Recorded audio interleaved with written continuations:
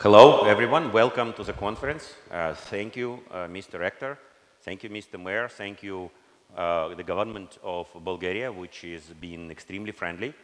We have uh, um, only started uh, our presence here less than a year ago. We have a lot of progress, and we are very happy to be here. Most certainly, we want to have this conference repeated next year uh, with even more people and with even more space in the conference room.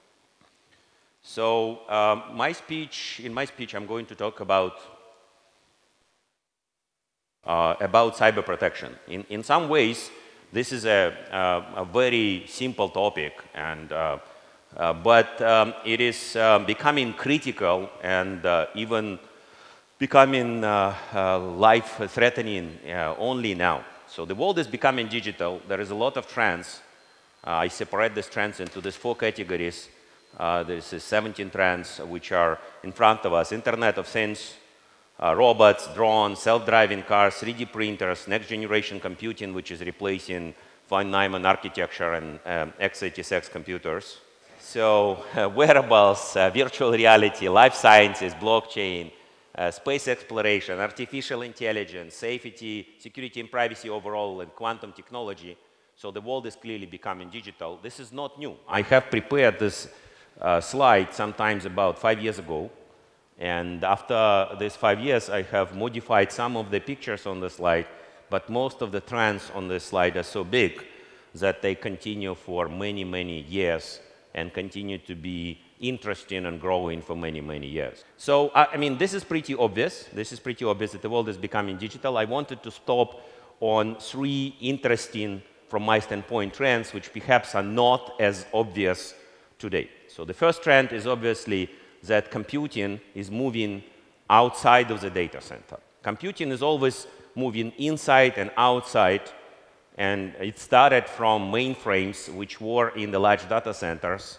It then went to distributed computing, and then I remember at the time of the internet, I attended the Microsoft conference, and one of the senior people from Microsoft was talking about the fact that internet is revenge of the mainframes. And so effectively, we're moving back towards a state when you have several hundreds, not uh, tens of millions, not hundreds of millions of places where computing is. And so we believe computing moving to the edge, the picture here is uh, the factory. On the modern factory, every part of equipment is a computer.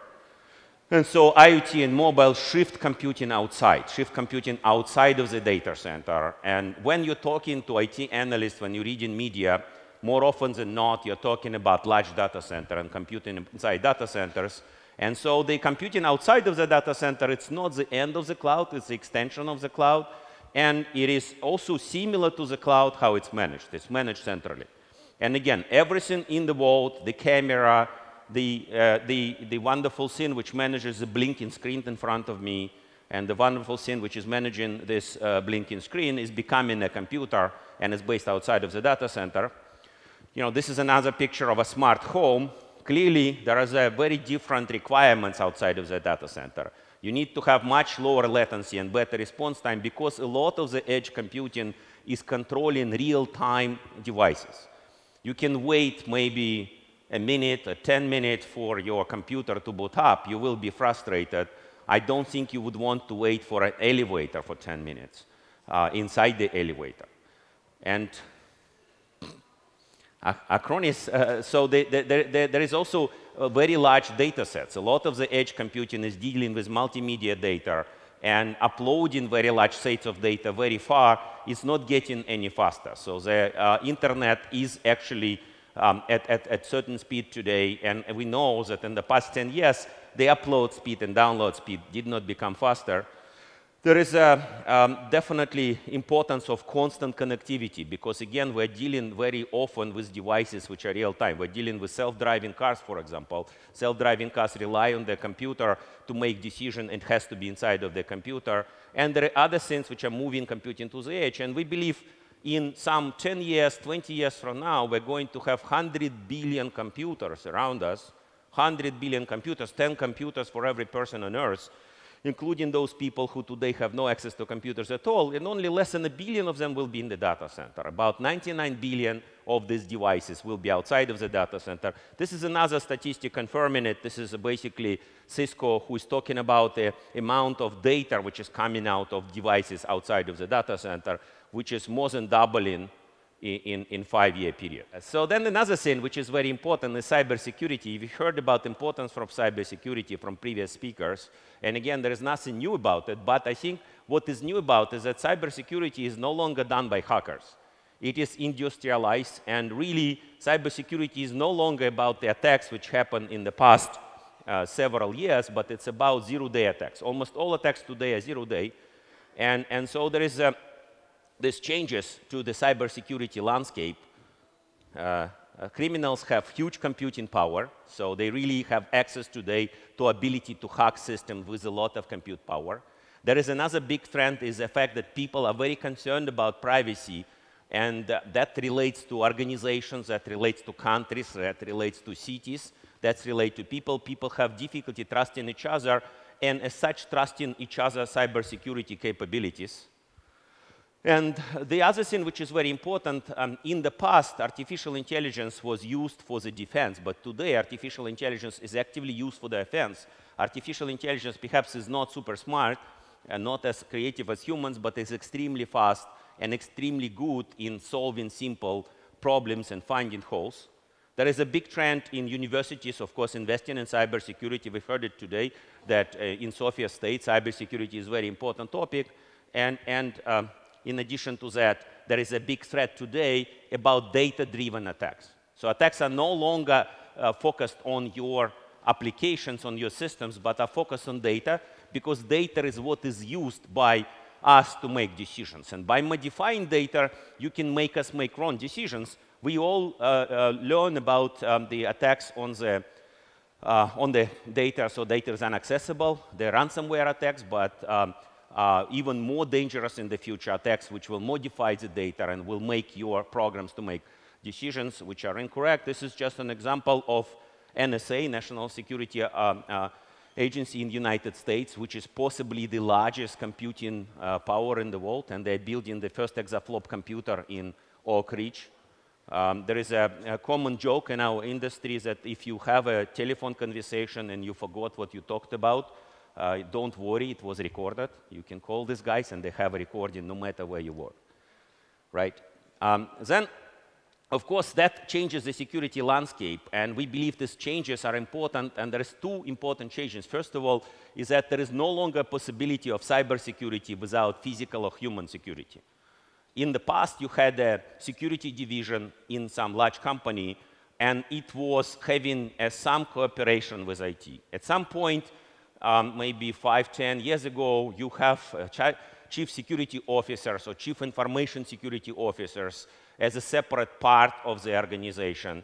Uh, today, we believe cybersecurity is becoming much more important than digital security, and it's impossible to do a security without making sure that you actually control your physical security, control access to devices, and control the people.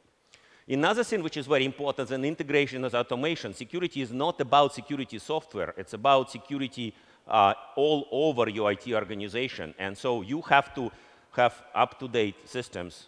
Then, of course, there is GDPR and privacy management. So privacy management is no longer an area of your choice. I remember some five years ago, I was in conference with one very famous entrepreneur and we were talking about privacy. And this guy, he said, like, yeah, I don't care about privacy. I can put everything about me on the internet, let everybody know.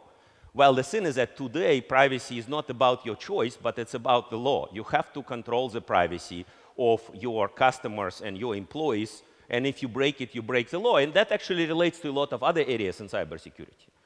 Then artificial intelligence and machine learning some maybe three, five years ago, it was an interesting add-on. So some security companies use artificial intelligence. Some security companies didn't use artificial intelligence today because artificial intelligence is used by the uh, hackers. It's required that it's going to be needed in your security offering. And then another thing which is very important, and you can read about it in the uh, media, is that security is about controlling what you use for IT infrastructure. Because one of the ways to penetrate your company is through your vendors, who have direct contact to your systems and your people, and to people who supply you hardware, because you rely on hardware, you rely on devices like this blinking computer to actually uh, deal with your IT infrastructure. And one of the ways to penetrate your system is to supply you a system which has a hole in it. And that's possibly the main way how modern governments and government organizations are penetrating each other. I want to mention one more trend which is very interesting. I've learned about it just recently. I was on Davos conference last week and it was very, um, it was repeated several times that today we're living in the world where organizations and governments um, are dividing the cyberspace. So we are at peace. There is no major war today happening. But in the meantime, governments are trying to penetrate all systems in all organizations and putting some agents in place. Those agents those programs are maybe sleeping programs. They may be activated later when they need something from you, and they may be activated at the case of some emergency, but uh, ultimately, the people on the conference believed that almost every system in the world have one or several agents implemented by one or several governments. And so the question is not whether your system will be penetrated, it is penetrated, it's how to find what is on your system. I also wanted to talk about another trend which perhaps is not obvious, and, and you know, one of these trends is related to quantum technology. Quantum technology is something which has been um, mentioned for the past 30 years as an interesting trend, and it's good in quantum metrology, quantum sensors, quantum communications, and quantum security, and most important, quantum computers. And what is interesting about this trend is that today we live in the world where there is a um, digital world, there is a physical world, and there is a world of nature. And those are three different worlds. We are living in the world of humans, the world of the earth, there is a digital world where the hackers live, and there is a physical world. And with quantum computers, really, you can model the reality. And uh, you can model the reality, and so you can actually create a digital world out of the world of nature. And the other trends, like satellites and, and IoT, digitize the physical world. And so ultimately, what happens with quantum computers and what happens with IoT and satellites, all of the worlds will become digital. You will have the digitization of the world and ability to monitor and predict and simulate different events in the world in, with computers. And so this is uh, three important trends, which I think is uh, somewhat insightful.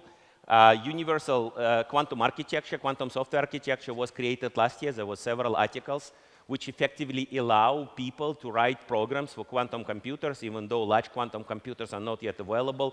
There is a group in Innsbruck University which uh, was led by Peter Zoller, which created the universal quantum software architecture. So you can actually write um, software for quantum computers, and nevertheless, uh, the quantum computer's hardware may be different. Uh, there is another very, very good achievement. There was always a discussion about quantum computers um, uh, of large scale or small scale. And there is a, several articles recently which show that you can actually use quantum computers as a core processors for classical computers, and a lot of the modeling of nature can be done with such quantum processors with small number of qubits. And um, uh, there is another uh, thing which is very important, um, and this is that by the end of the year, we believe there will be a first boxed quantum computer with 256 qubits, and this uh, quantum computer has such architecture that can double every year. So that effectively means in 10 years we have a 250,000, uh, 256,000 qubit quantum computer, which is enough to model a lot of different things in nature, to model new materials, to model physical events, and to calculate a lot of things in a very important way. And so again, coming to this trend, the world is becoming digital. I specifically put this um, self-driving uh, robo race car in, in, on the landscape, uh, on the picture here. The, the scene is this, that um, uh, today we talk about self-driving cars, and perhaps self-driving cars are not going to happen quite as soon. What we see happening with um, Apple announcement recently and with a number of other things that really making a, a universally ac acceptable self-driving car which can solve any difficult long-tail situations is difficult, but nevertheless, the world is becoming digital. And there is one feature which is quite obvious about digital world, it's extremely easy to copy and destroy. So wiping up one petabyte of data requires almost no energy. You just press a button and the one petabyte of data is completely destroyed. And this button can be pressed by you by mistake. It can be pressed by some bad guy. It can be happening because of one or another reason. But of course, demolishing physical world is extremely difficult. So this is sort of uh, the picture of uh, several buildings demolished. Demolishing a building requires, um, you know, trillions time more energy. And not only that, in a physical world, we're used to the fact that actually all the physical objects in this world are unique. There is impossible in this physical world and prohibited by the laws of physics to make a, an exact copy of something. So there is a possibility to always distinguish the original from the copy. Uh, you know, it could be very difficult. A, copy and original could look very similar, but they are ultimately different. In a uh, digital world, uh, this is uh, completely extremely easy. Everything can be copied. Uh, the sets of bits, sets of zeros and ones could be exactly the same. And so we believe digital world requires safety. Safety is something we get used to in the physical world. In the physical world, as species, we have evolved to safety in the past several billion years, and then as humans in 100 million years, and a human society in the 100,000 years, and we developed a lot of tricks about safety. Ultimate safety in the physical world is not possible. We believe it's a domain of God, but we're getting better and better there. Uh, but in the digital world, having safety is just about having one or several copies of your data. If you have one or several copies, you can actually deal with it, and vice versa. If you lose the uh, data, it's quite deadly. Without your data in the future, you won't be able to continue. The next thing is very important is accessibility. In the physical world, accessibility is something we're always fighting with. Um, you know, we are building trains, planes, cars. Uh, we are building hyperloops. We are talking about hypersonic um, uh, travel to access different parts of the physical world. Ultimate accessibility is our dream. In the digital world, accessibility is very, very easy and it's possible with proper tools. You can actually, the wonderful thing about digital world is you can, with proper tools, access your digital world anywhere, on any device, anywhere in the world. Privacy is another thing which is very important. As I mentioned, it's very easy to copy digital objects. And so when you copy digital objects and you modify digital objects, you can influence people. And by changing objects, you can influence elections, you can influence buying decisions, you can influence family decisions, you can influence health decisions, and so ultimately privacy is extremely important and it is uh, something which you must control. Privacy is perhaps a new trend. People talked about privacy in the last 10 years. It became super important in, in, in the last several. Next thing which is very important is authenticity. Again, in the physical world, authenticity is something we get used to. In the physical world, we can always distinguish original from the copy. In the digital world, without special tools, everything looks the same. And as we move towards the physical world, merging with the digital world, merging with the world of nature, in the digital world, we will have to make sure that authenticity is uh, possible to distinguish. We will have to be able to somehow digitally sign and verify signatures. And of course, finally, security uh, is very important. Um, everybody understands that uh, there is a lot of assets, a lot of value in the digital world.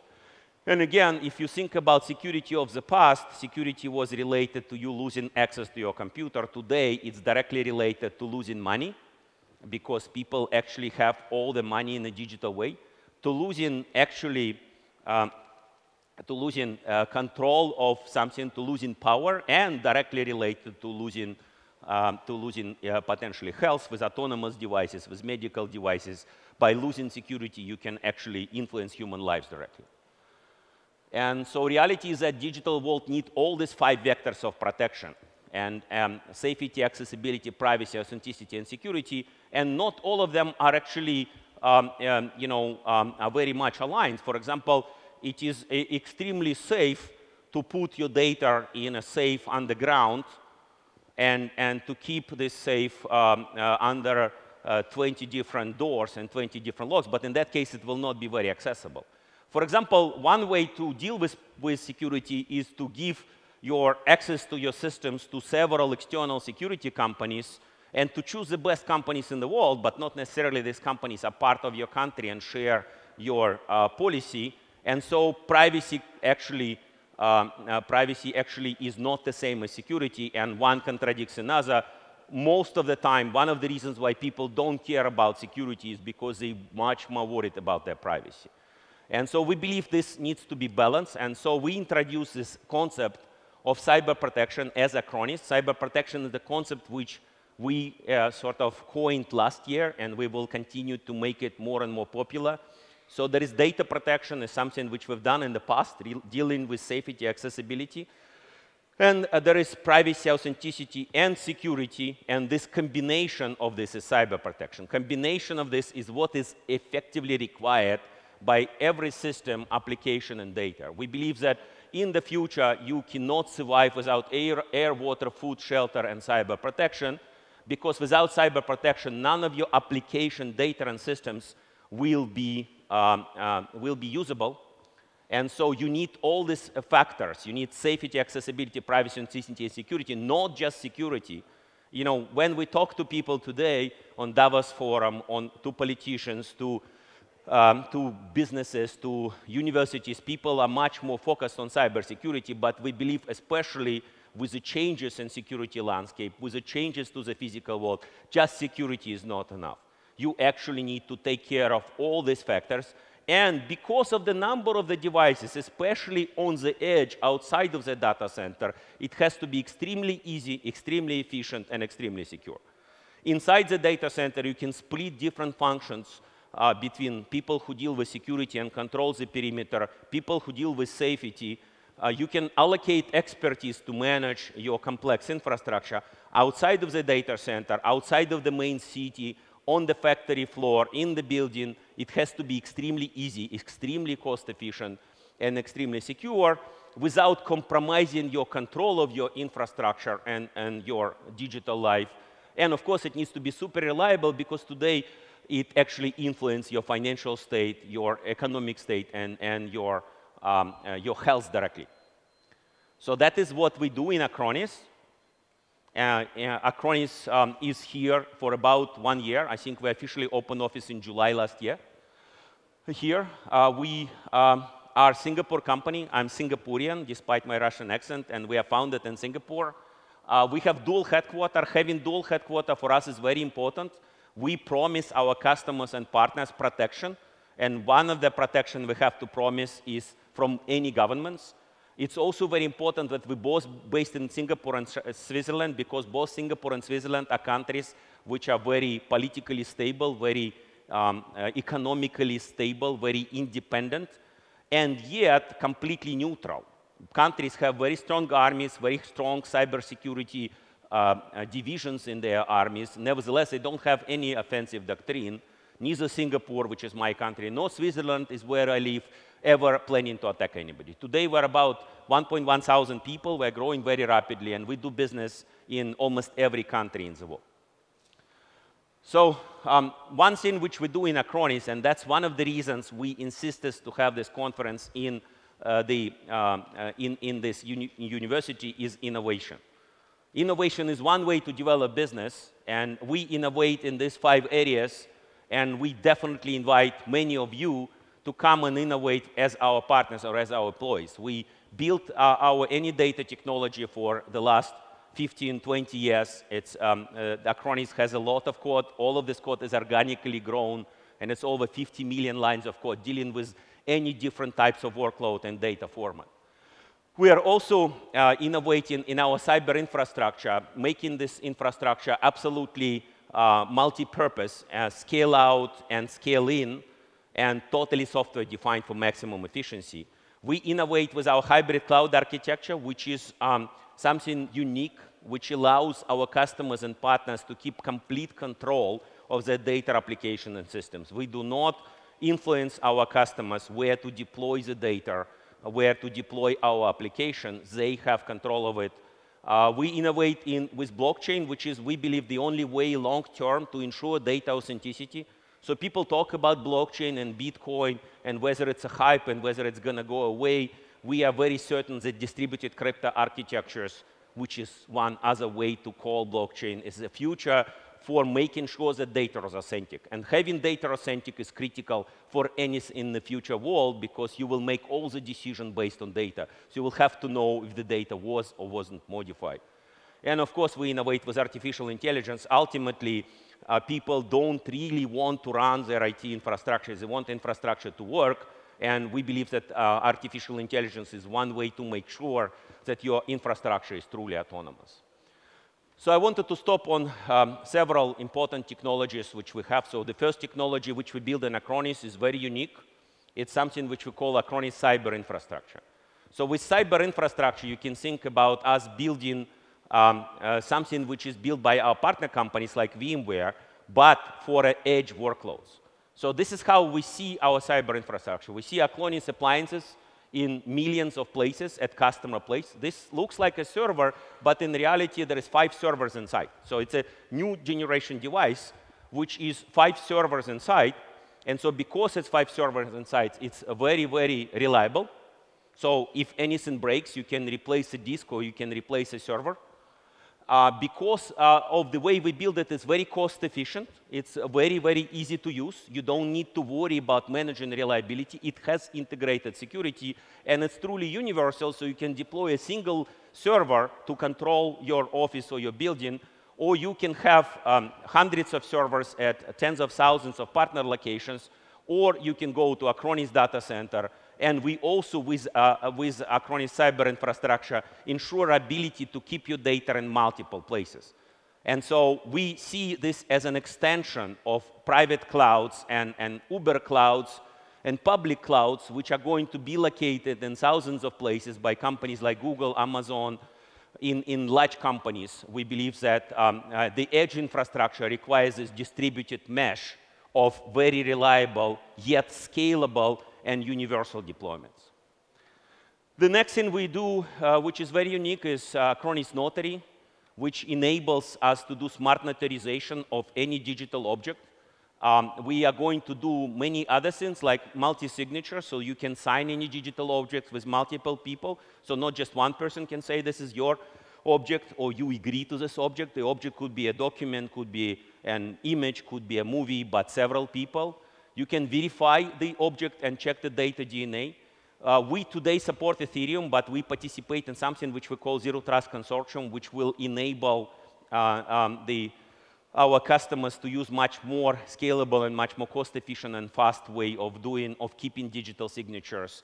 And we believe that one other thing which we will do one step further is we will unite the system Acronis Notary with personal identification. You know, in fact, today, we all go through a number of identification procedures. We go to the airport and we have people, I mean, I go through uh, customs maybe 200 times a year, and you have all these people looking at your passport and trying to figure out if your passport is original, and then looking at you and comparing the picture on your passport to you. It is way not efficient. You don't actually have to do it. Anybody has a mobile phone, and today mobile phone can both check the identification of your passport, especially if it has NFC, and identification of your face with a better precision. You might hear about it from the further lectures. So ultimately, any digital objects can be signed and identified to its owner, whether it's a person or organization. The next thing is very important part of our offering, which is uh, very much coming out this year, is Acronis Security. And with Acronis Security, we're trying to deal with a holistic security picture. Again, one of the main things which we believe is happening today is you don't need to worry about the, the threats of the past. The threats of the past don't matter. What you need to worry about zero-day threats, and what it means is that eh, it's ultimately absolutely sure that whatever you do, you will have security breaches. So you need to not only detect and solve the security breach, but you need to recover when you were penetrated, and so here we have unique features of our security products. One of them is we can, um, in real time, notify anybody who's using our products about upcoming security threat, which is potentially not solvable, and, and initiate immediate uh, backup, immediate copy of your data just before the threat happens, you don't lose one day or one week or whatever your back plan is you need to, we enable you to remediate, um, to solve the problem with minimal data loss. One of the problems with recovery is you may have um, um, clean copy of your data set in case of ransomware. It may be one week old, it may be two weeks old. That means that you lose two weeks of data. In reality, if you look at your backups for the past two weeks, a lot of the data in your backups is actually safe, but there is no integrated way today to figure out which part of your data is safe, which part is not. We also uh, need to ensure that we can restore to a safe state. Very often today, with zero-day attacks, what you have is you actually have an attack, it, your system is broken, you restore it, but you restore it to a state which is easy to penetrate, so immediately broken again, you um, have a broken system, then you restore it, and then immediately you get attacked again. And so the question is how to actually apply all the patches to both our software and the system and make sure that you restore to a safe state. Of course, we heavily use artificial intelligence and machine learning, and that's where we look for people. And uh, again, we have a very unique technology in Acronis um, um, exploit prevention for, again, zero-day attacks. We believe, again, the main issue today is how to fight zero-day attacks. Then on top of this, we built Acronis Cyber Platform. We firmly believe, just like Intel, that we cannot solve all of the data management, all of the security problems themselves. And so everything we do in Acronis is an open platform, starting from universal infrastructure level, Acronis data, any data, cloud automation system, and service uh, and application system. We provide SDKs and APIs for third-party developers to build on top. So for example, if we do not support certain data source or certain data destination, or we do not support certain data policy, or we do not manage some security, you don't have to rebuild everything we do you can actually create a software and over the course of this year, we will launch everything related to the platform, such as Marketplace, which would enable you to market your application through our partners to our um, extended customer base. And um, not only that, but we believe that we combine it into a unique platform for our partners, service providers, starting from Acronis Cyber Infrastructure on top of its cyber platform and cyber services. Today, we already ship Acronis Backup, Acronis Disaster Recovery, Acronis Notary, Acronis File Sync and Share, and Acronis Monitoring. Very soon, we ship Total Protect, which is our security product. I think you will hear more about it today. Acronis Deployment, and over time, together with third party, we extend with other data management policies. What is very important, in order to make it extremely easy and extremely efficient and extremely secure, we still need people.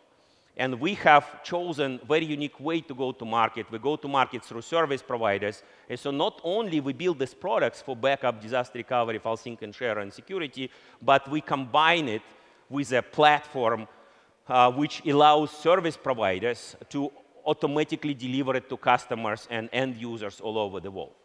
And, and so that, that's sort of a, uh, not just, just a product, but as a complete serviceable platform for service providers which is um, uh, also very important for our third parties. it is about our products. We believe that we protect knowledge, so we believe by protecting knowledge, we're doing something extremely important. We believe we innovate. When you innovate, sometimes you make mistakes, and sometimes you do inefficient things. And so we believe that even in case we're not doing a perfect job in terms of selling and marketing our products, and we're not the largest company in the world yet, but uh, we show an example. We also believe that it's very important to do good. And so one thing which we have talked about in the past here and the previous conference is Acronis Foundation, which is our corporate uh, social responsibility programs in which we build new schools. We educate, IT pre, uh, we educate um, prisoners in Singapore prisons, and we help veterans in US, and we, we do other things in education we, as also one important part of our business strategy, we see that digital transformation happens in every field. There is a lot of discussions about whether artificial intelligence will replace humans and, and whether artificial intelligence uh, will make humans irrelevant. We believe artificial intelligence needs to enhance humans.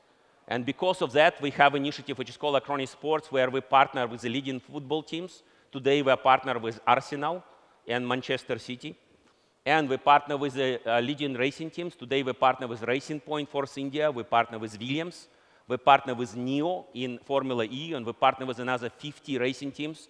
And we partner with other teams where we allow the teams to collect digital data about their fans, about their performances, and use artificial intelligence to optimize their strategy or to optimize their technology.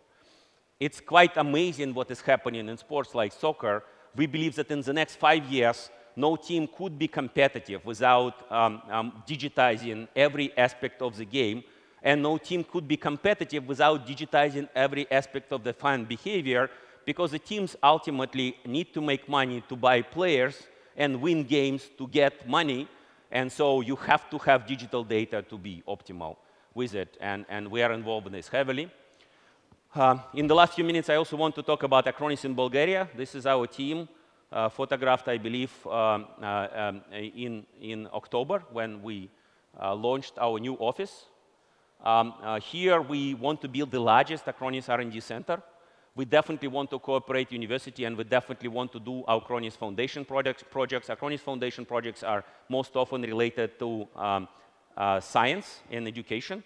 One thing which we promised the um, the university to do, and we hope to, to get uh, you know, good cooperation and support, is to help university to have better conference facilities. There are several centers, we believe, in university which are good.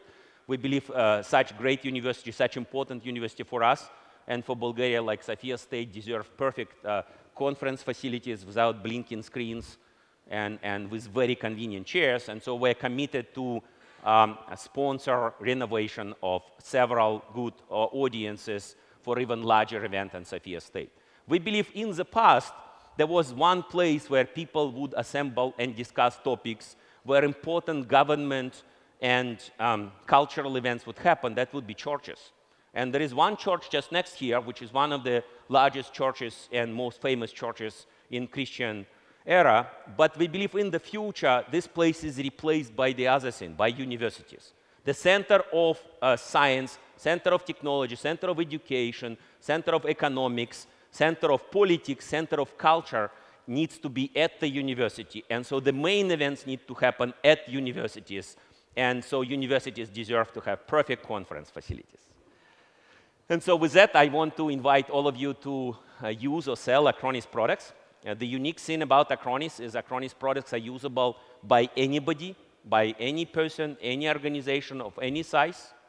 And with that, we want to invite you to join Acronis. As you can see, we are not very far from here, just 500 meters. Right after I finish my speech, you don't have to attend the rest of the conference. You can just stand up and walk down to our office, and we will, be happily meet, we will happily meet you and consider you as our employees or as our partners. We intend to have about 100 people uh, this year. Um, we sometimes in the middle of the year on the average, and over the course of three years, we want to grow our headcount in Bulgaria to about 500 people, out of which we will have close to 400 engineers. Again, we're building Bulgaria as our main engineering center in the world, which is very important difference with number of other companies we have engineering centers here. Here we will obviously hire people from Bulgaria, but not only from Bulgaria, also from nearby countries. We also hope to import people from other parts of the world. And we definitely invite you to partner and to join Acronis. Thank you very much. And apologies for the inconvenience.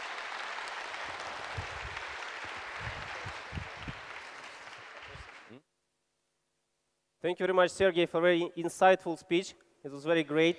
And uh, let's have a short Q&A session. During this session, our technical team will try to fix the screen. Uh, any questions to Serguei Beloussov from the audience? We have two microphones. Please ask your questions. Anyone? Yeah, there's a question on this side. Could you explain us a little bit uh, more the role of blockchain in your company? Blockchain development in Acronis.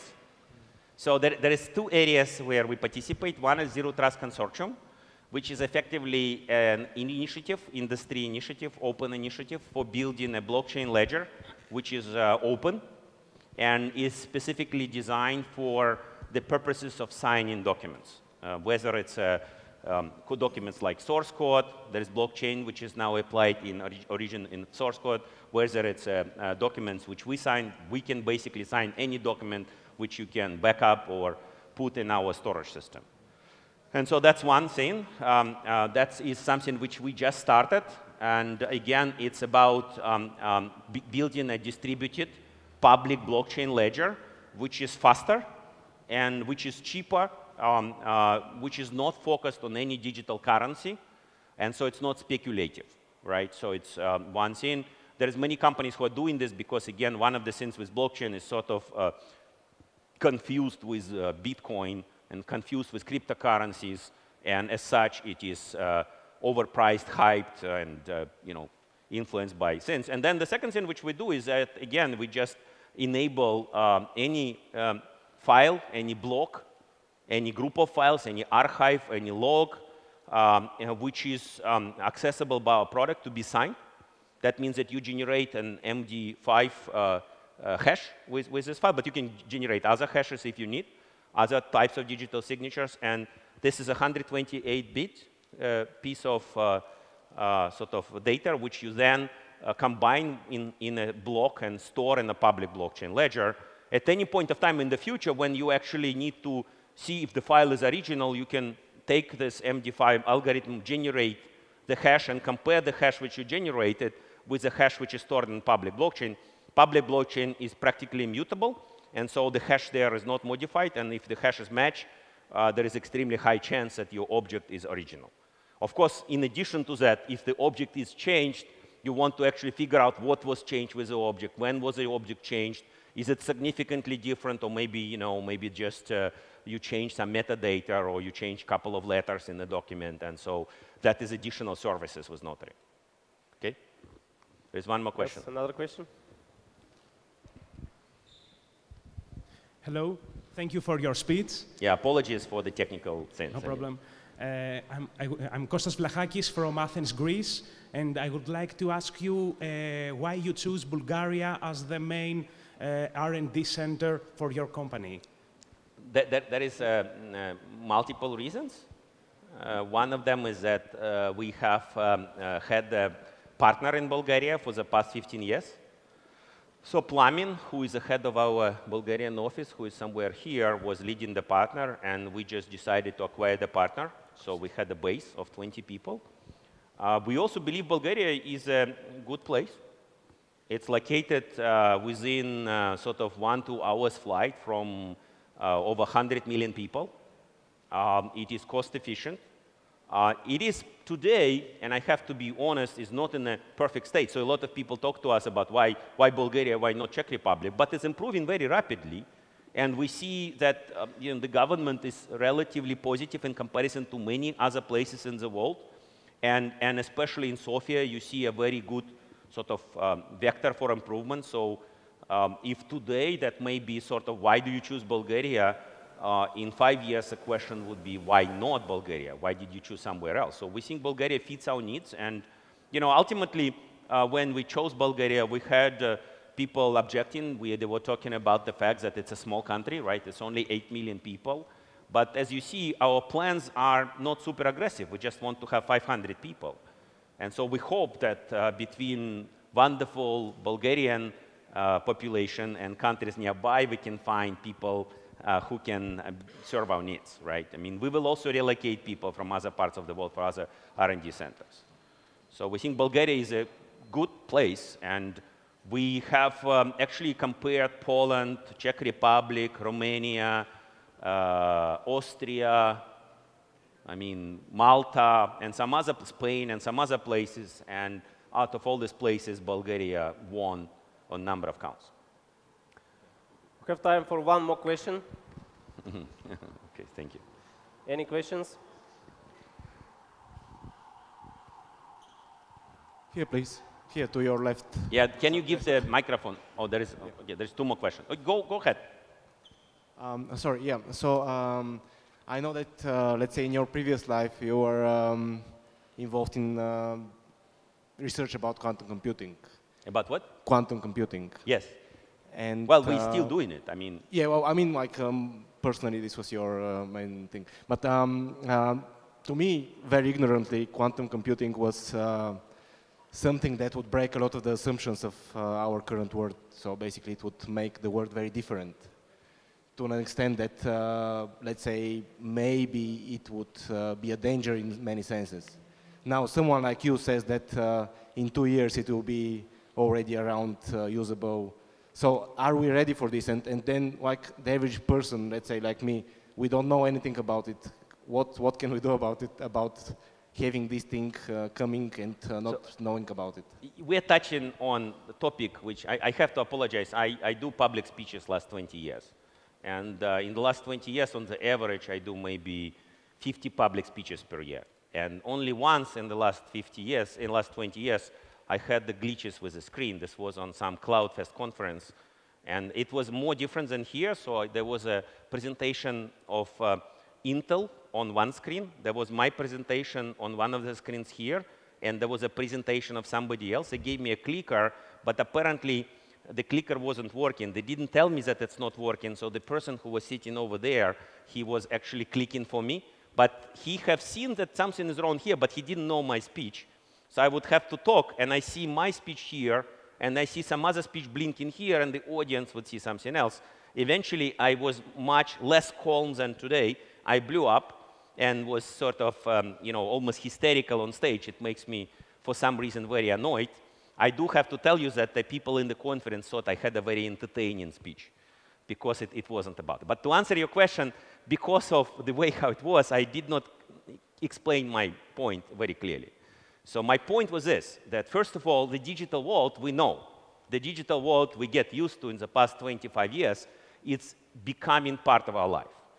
It's becoming part of our life. We do a lot of things digitally, and it's becoming very important, and that's one thing. But there's a second point, which I made in more subtle way, is that the, there is a digital digitization of the physical world.